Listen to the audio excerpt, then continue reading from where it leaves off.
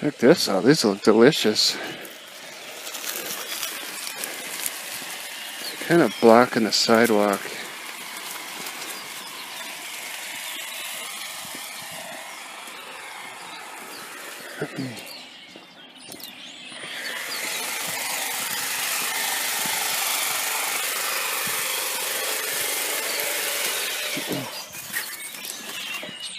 You know, even in the book In Defense of Food, I think he might have said it that.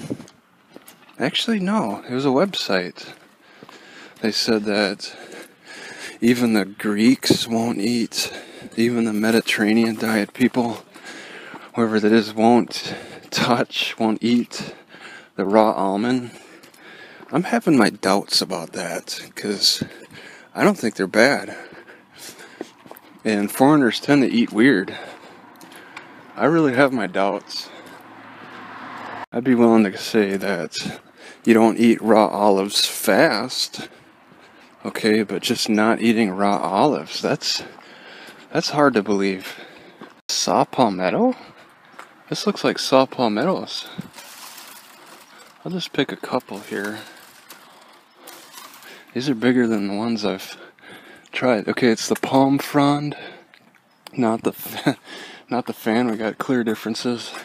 The first one tasted rotten. These this might be rotten actually. Yeah, they have a taste, a rotten taste. They look rotten too, all black. That's odd.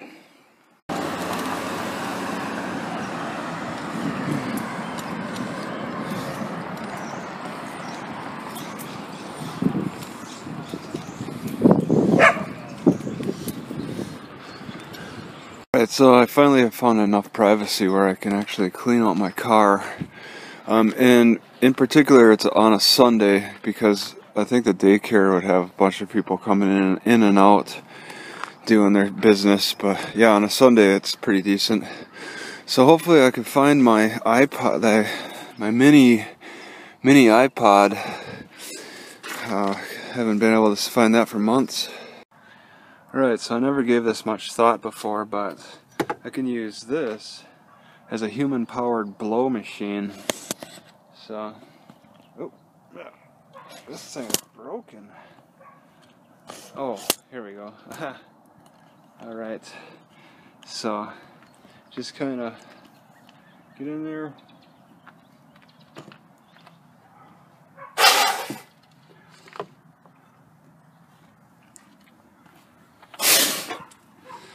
kind of get in there and and blow. Yeah. All right. So once again, I've been able to comfortably clean everything up. Now I'm I'm happy with uh, the dusting. I removed more mat- um, fabric material from the car that was that came with the car on the passenger side, about this much, and then put the tarp in its place. But yeah, I'm able to clean. There's only been a few people that went by. Uh, I dusted this. Um, I think mosquitoes are getting in through there, and they're currently getting in through here because I never had a problem with mosquitoes before uh, the the car accident before that guy rammed my car. So yeah, I think it's clean enough inside, and I got quite a bit of trash to toss, of course. And I found my little iPod that little iPod that was missing for months. It's, yeah, right here. Original main gate location, probably for the Air Force. And they just got it all covered in windows, door. and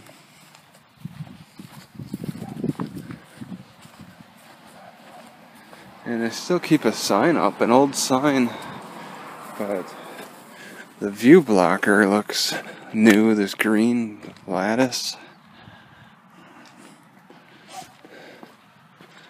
Oh, maybe it's maybe it's a property for the Coast Guard. Warning U.S. Coast Guard property authorized personnel only.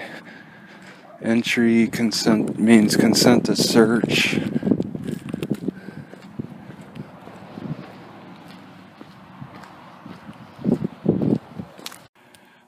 Once again, it's another pretty old sign. and I don't know, it's has something to do with I got an electrical box that's humming. So there's electricity coming to this. Is that a camera? Off limits US government property. Substation H.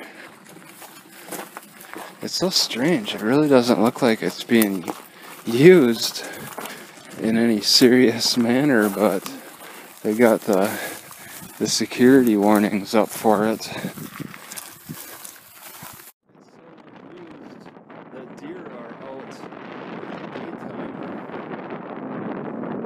there's a lot of housing. Wow.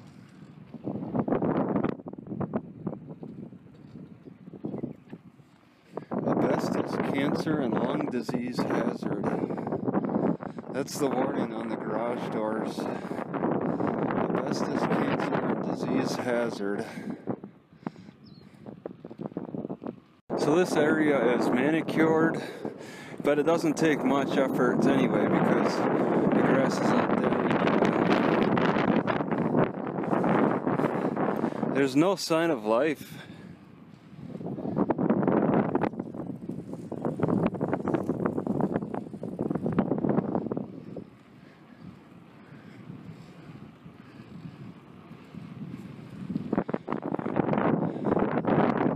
So this would be a duplex for the military.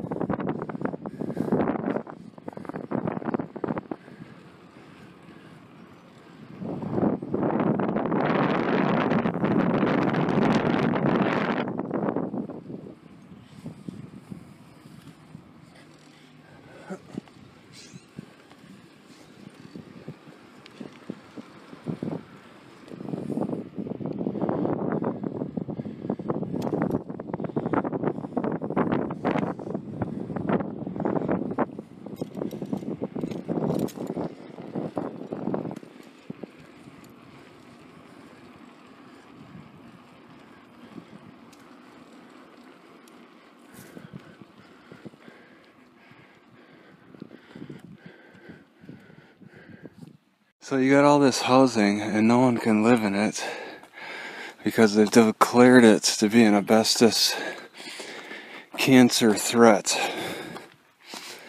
And these are like a hundred homes. Quite peaceful.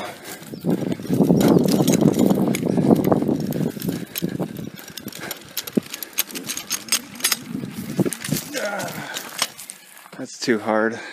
I can just imagine that this area used to be highly populated and very active.